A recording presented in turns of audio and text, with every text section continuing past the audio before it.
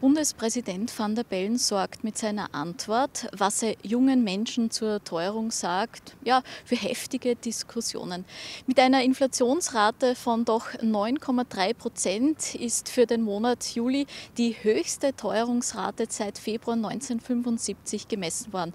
Stärkste Treiber der Inflation äh, sind ja nach wie vor die Treibstoffpreise. Allerdings stagnieren diese Preise auf einem hohen äh, Niveau. Dafür gab es spürbare Preise Preiserhöhungen bei der Haushaltsenergie und in der Gastronomie, ähm, wie die Statistik Austria und zwar am Donnerstag bekannt gab. Der wöchentliche Einkauf ist ja ebenfalls deutlich teurer geworden. Der Preisanstieg des Mini-Warenkorbs war im Juli mit 19,1 Prozent mehr als doppelt so hoch wie die allgemeine Inflation. Die Mikrowar, äh, der Mikrowarenkorb, der doch auch Tageszeitungen und Kaffee im Kaffeehaus enthält und den täglichen Einkauf widerspiegelt, stieg im Jahresabstand um 10,4 Prozent. Also für viele Menschen wird das äh, Leben unleistbar. Und besonders auch junge Menschen ohne Einkommen leiden darunter.